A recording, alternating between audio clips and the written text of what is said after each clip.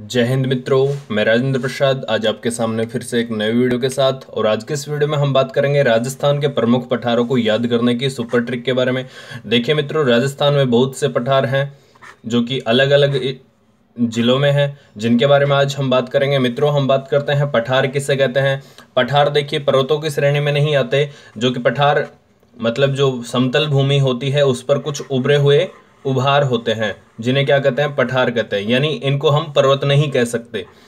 इसलिए इन्हें क्या कहते हैं, पठार कहा जाता है। देखिए मित्रों, सबसे पहले आप हमारे चैनल को सब्सक्राइब करना ना भूलें, लाइक कीजिए और शेयर कीजिए। देखिए आप आते हैं अपने टॉपिक पे। देखिए, राजस्थान के प्रमुख पठारों को याद करने की सुपर ट्रिक ये ट्रिक है मित्रों, उड़जा आबू भोर में मन को लसाऊं। उड़जा आबू भोर में मन को लसाऊं। देखिए मित्रों, उड़ से हो गया उड़िया का पठार, ये है सिरोही में। इसकी जो ऊंचाई है वो 1360 मीटर है। इसके आगे है ये जो जा, ये है हेल्पिंग वर्ड मान लीजिए या फिर साइलेंट वर्ड मान लीजिए। इसके आगे है उड़जा आबू। तो मित्रों, आबू से हो गया आबू का पठार, ये भी कहाँ है? सिरोही में है। जिसकी जो ऊंचाई है वो है 1200 मीटर।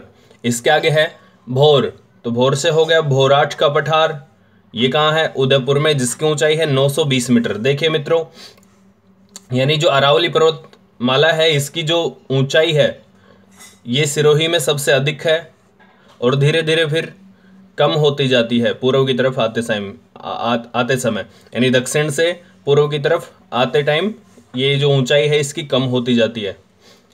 जो सबसे, अरावली की सबसे जो ऊँची चोटी है, वो आबू में है, यानी गुरु शिखर, और जो सबसे नीची चोटी है, वो है पुष्कर में।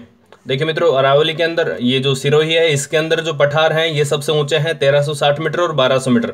इसके आगे मित्रों, उड़जा आबू भोर में तो मैसे हो गया मित्रों, मैसा का पठार चित्तौड़गढ़ में। जिसकी ऊंचाई है 630 मीटर, जिस पर चित्तौड़गढ़ का किला बना हुआ है। कौन सा किला?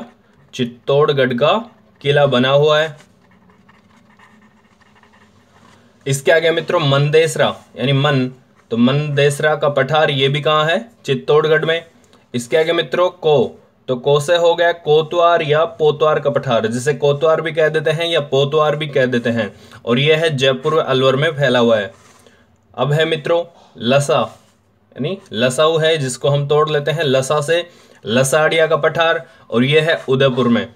इसके आगे मित्रों, ऊ बचा तो ऊ से हो गया ऊपरमाल का पठार। ये कहाँ स्थित है? चित्तौड़गढ़ में। देखिए मित्रों, आज की जो पठारों की ट्रिक है, वो है उड़जा आबू भोर में मन को लसाऊं उड़ से उड़िया का पठार, सिरोही आबू का पठार, सिरोही भोराट का पठार उदयपुर, मे, मेसा का पठार चित्तौड़गढ़, मंदेसरा का पठार चित्तौड़गढ़ और कोतवार या पोतवार का पठार, जो कि जयपुरी अलवर में फैला हुआ है। लसा से लसाड़िया का पठार उदयपुर और ऊ से ऊपरमाल का पठार। बहुत बहुत धन्यवाद। जय हिंद।